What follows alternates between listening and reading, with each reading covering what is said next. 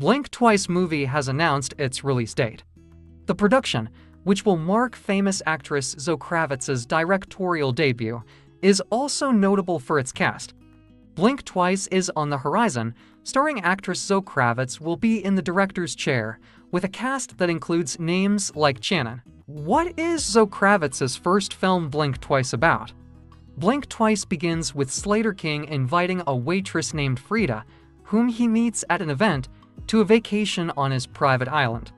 Initially, everyone seems to be having a good time at this crazy vacation, but strange events start unfolding. Announced in 2021, filming for the production began in June 2022. Regarding her directorial experience, Kravitz mentioned that she learned a lot about what it takes to make a film and about constantly putting out fires.